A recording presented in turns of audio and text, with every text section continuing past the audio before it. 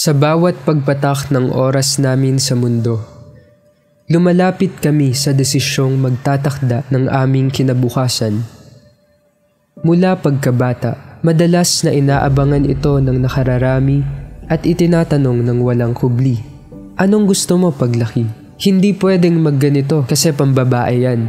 Anong gusto mong kuning propesyon? Wala masyadong sahod dyan at minamaliit pa minsan ang aking kagustuhan. Kaya isip ko ay gulong-gulo. Ano nga bang gusto ko? Sa isang ospital, kaya ko bang maging isang taong handang ialay ang kanilang sarili sa pag-alaga at pagligtas ng mga buhay?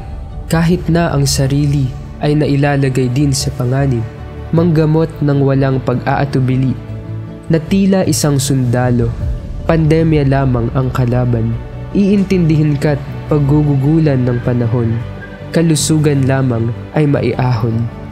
O sa loob ng isang silid-aralan kung saan ako ay guro naman, maging tulad ng aming tagagabay sa paghanap sa kahulugan ng buhay handang maging hagdan patungo sa pangarap at kaakibat ng mga mag-aaral sa paghakbang. Pinupunan ang kulang na kaalaman, nagbubukas ng isipan, nagtatanim ng karunungan at humuhubog sa ating pagkatao at kinabukasan.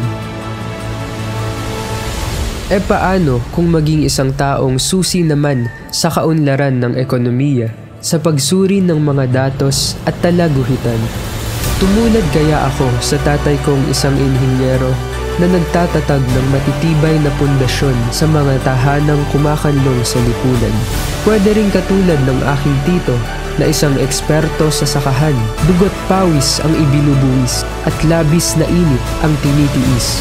Maaari din namang maging tagalingkod ng bayan, tagatugon sa mga suliranin ng mamamayan, tagaabot kamay sa mga nangangailangan, Isang presidenteng may malasakit at nakikinig sa bayan, nagsisilbi ng walang diskriminasyon, kumikilos palagi ng may katarungan.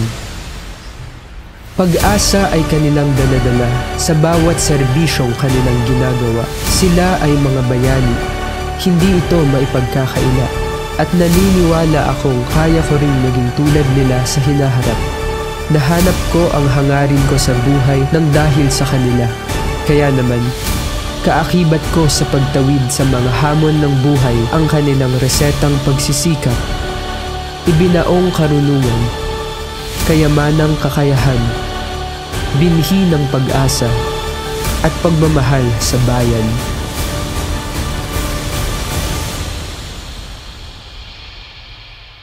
At sa hinaharap, pangakong ibabahagi ko rin ang tanglaw na kanilang pinaalab sa aking puso anumang landas ang tatahakin ko.